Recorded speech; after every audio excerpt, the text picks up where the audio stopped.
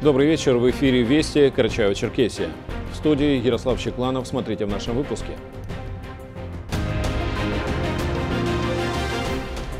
Учреждения Карачаево-Черкесии получили 152 школьных автобуса. За пять лет удалось сделать учебный процесс комфортнее, удобнее и безопаснее.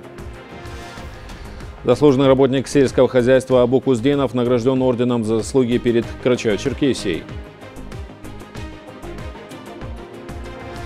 Наша республика «Земля талантов» в Карачаево-Черкесии состоялся всероссийский конкурс детского и юношеского творчества. Эти специалисты востребованы на рынке труда, им предлагают высокую заработную плату, выпускной у волшебников вкусной еды.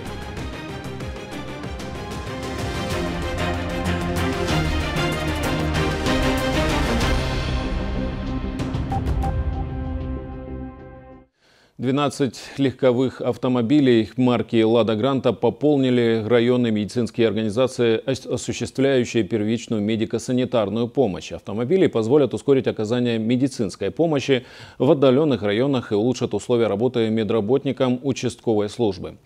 Всего в этом году получено 24 единицы санитарного транспорта. По инициативе Всероссийской политической партии «Единая Россия» образовательные учреждения Карачаево-Черкесии получили 152 школьных автобуса. По итогам работы за пять лет удалось сделать так, чтобы учебный процесс стал комфортнее, удобнее и безопаснее. О проделанной работе расскажет Мурат Жанкезов. Среди позитивных изменений, которые произошли в республике за последние годы, можно отметить строительство образовательных учреждений, обеспечение стопроцентной доступности дошкольного образования, ликвидация очередей детские сады детей в возрасте от 3 до 7 лет, и оснащение средних общеобразовательных заведений региона новыми школьными автомобилями. С начала действия федеральной целевой программы в 132 школы республики поступило 152 автобуса. Они в среднем ежедневно перевозят более 6 тысяч детей. В нашей республике э, оснащенность э, школ э, автобусами, скажем, составляет на сегодняшний день ну, довольно Э, хорошие проценты. Но, тем не менее, нам необходимо для оснащения полного э, еще более 50 автобусов. В этом году э, мы подали заявку на получение 22 единиц транспорта. Транспорт для перевозки детей отвечает всем требованиям техники безопасности.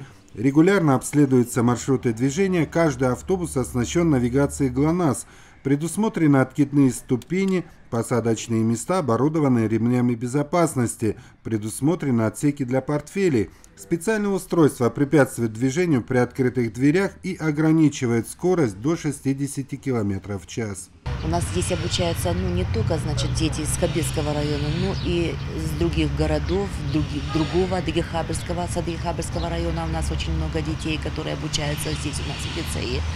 Но доставляем мы детей из населенных пунктов, начиная с поселка Бафука, заканчивая, значит, поселок, э, аулом Жако.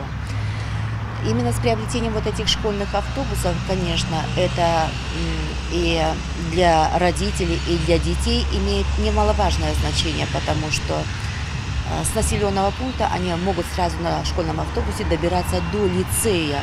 По инициативе «Единой России» до 2024 года в регионы страны поступят 16 тысяч школьных автобусов.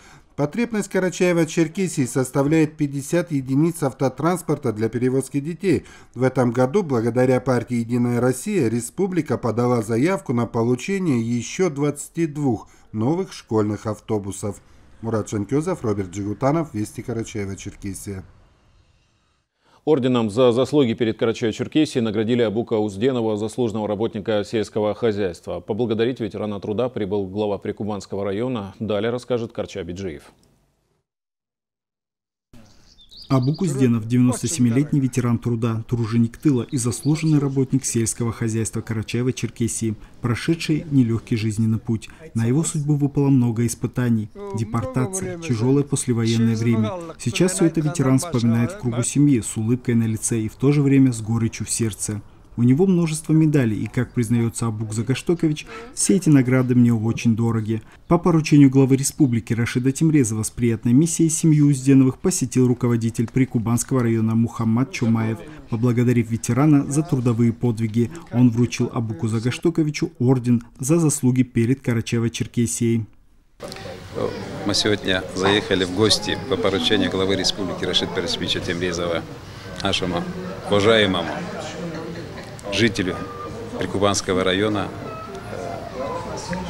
Узденова Абреку Загаштоковичу с хорошей, приятной миссией вручить заслуженный орден за заслуги перед Карачаево-Черкесской республикой, поблагодарить его за весь их трудовой подвиг. Абу Куздинов начал работать с 16-летнего возраста, побывал и на берегах Ледовитого океана, и в степях Кыргызстана, воспитал, приучил к труду, дал образование своим трем детям. Доброжелательный и вежливый. Здесь, в родной Карачаево-Черкесии, он проработал много лет. На вопрос, чем вы любите заниматься, ветеран рассказывает, что раньше обрабатывал огород, держал крупнорогатый скот. Свободного времени было мало, а сейчас Абук Закаштокович любит читать книги и смотреть телевизор. Физический труд – это жизнь. Без физического труда, например, жить очень трудно. Я его уважал. Все время я хамут носил на шее. Работал все время физически. Абук Загаштокович долго рассказывал о своей жизни и о том, насколько важно трудиться, ведь, как говорит ветеран, труд облагораживает человека. Молодежь должна реализовать свои способности для своего светлого будущего. Самое главное не то, что мы получаем за проявленную работу, а то, кем мы становимся в результате нее. Карча Биджиев, Ислам Урумов, Вести Карачаева-Черкесия. И вести из оперштаба. Сегодня в Карачаево-Черкесии выявлено 12 новых случаев заражения коронавирусной инфекцией. С начала пандемии общее количество заболевших в республике составило 20 655 человек. Из них 20 277 выздоровели, 120 человек госпитализированы. Сейчас настало время прогноза погоды, а после мы продолжим выпуск.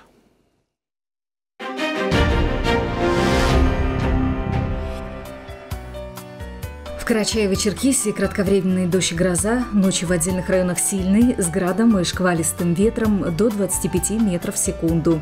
Ветер северо-восточный 5-10, температура ночью 11-16, а в горах до плюс 10. Днем 22-27 и в горах местами 16-21. В Черкеске ночью кратковременный дождь и гроза, днем без существенных осадков. Ветер северо-восточный 5-10 метров в секунду. Температура ночью 13-15, а днем 24-26 градусов тепла.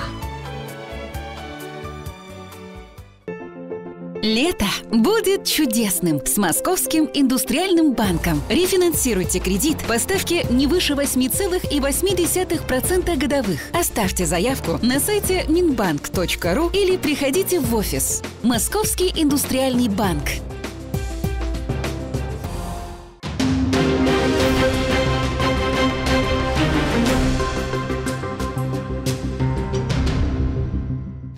В республике состоялся региональный этап всероссийского конкурса детского и юношеского творчества «Земля талантов», который на протяжении ряда лет проходит под эгидой КПРФ и Министерства культуры Карачаево-Черкесии. Космические костюмы, космический макияж, космические песни и стихи и все потому, что тематика была посвящена 60-летию первого полета в космос Юрия Гагарина. В романтику далекого космоса окунулась и Фатима Даурова. И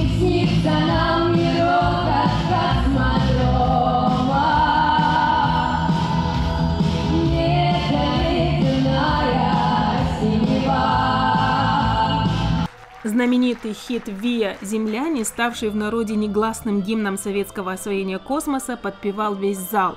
Детский конкурс «Земля талантов» собрал на сцене Дома культуры аула Кашхабль талантливых девчонок и ребят не только из Карачаева-Черкесии, но и соседних регионов, которые соревновались в разных номинациях – хореография, декламация, вокал.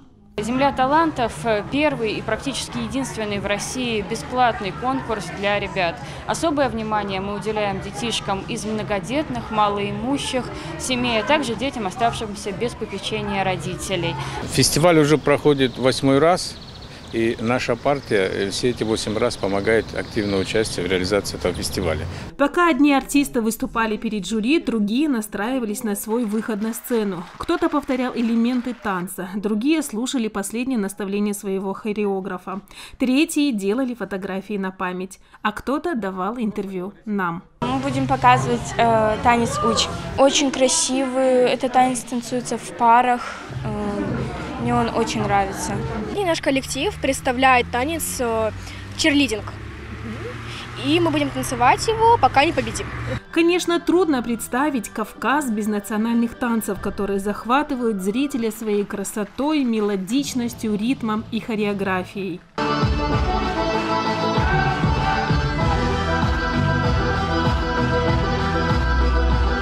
Но вместе с традиционными танцами шагают и современные, показывая разнообразие творческого потенциала молодых артистов республики.